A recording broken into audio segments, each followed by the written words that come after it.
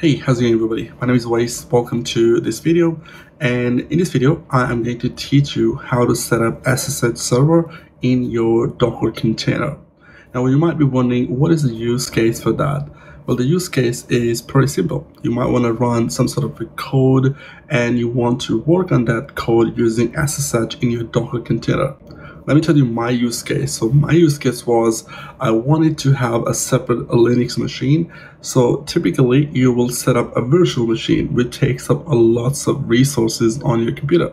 So I thought, why not I just set up SSH server in the latest version of Linux. Let's get started by setting up a Docker container using Debian and then SSH into it, set up the root password, and then set up the some permissions to access it on your local network. So yeah, let's get started.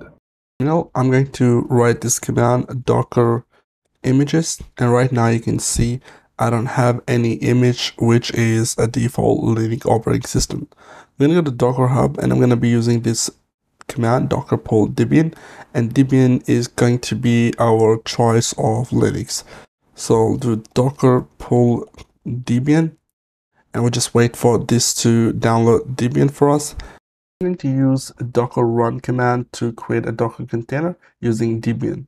So use docker run dash it for interactive mode dash dash name and I'm going to name it Debian server dash p to specify the port. I'm going to use 2200 for host port and 22 which is going to be our port for SSH in container. So that's basically you need to access the SSH and port forward it to your local 2200. Then you can specify dash D to run it in a detached mode. Then type debian colon latest. And when you just press enter, and you can see it created a container for me. I'm going to use docker ps command. As you can see, there is a container called debian server. I'm going to use VS Code to see and you will see it will appear. So here we got Debian Latest, which we just created, and you can see its name as well, Debian Server. I'm going to use VS Code Docker extension to actually access the shell. So I'm going to click on attach shell after right clicking on that container. And let's just zoom in a bit. And here we're going to use apt update first. Once this is updated, then you can install apt install open ssh dash server and press y enter. We have ssh server installed. Now i'm going to use this service dash dash status dash all. And you can see we have this ssh service but here you can see it's a minus sign which means it's not running. So to be able to run this we just need to use service dot SSH. But before we do that, we are going to set up the password for our root user.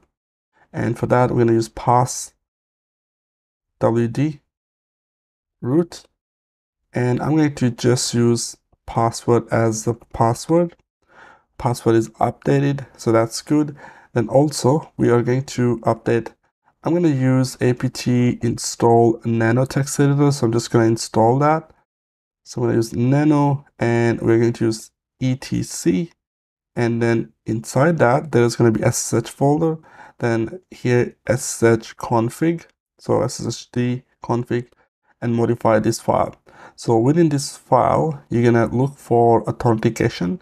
And here we have this permit root login. Okay. We are going to press enter here. I'm going to say permit root login. So pretty much write the same thing and say yes. Okay, so make sure that you don't misspell it. So permit, so you can see I misspelled it. So let me go and remove this. We'll just do permit root login yes.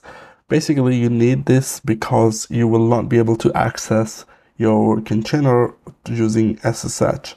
So I'm gonna write it out by uh, Control O, enter, and close that. Now we're gonna say service start SSH. Okay, now it's not starting, so let's say SSH start.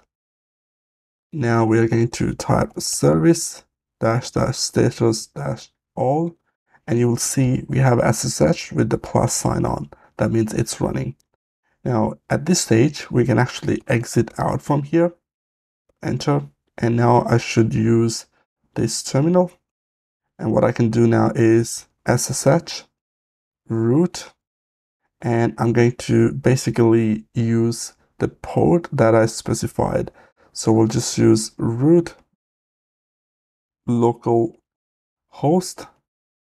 And I'm going to use this dash dash port.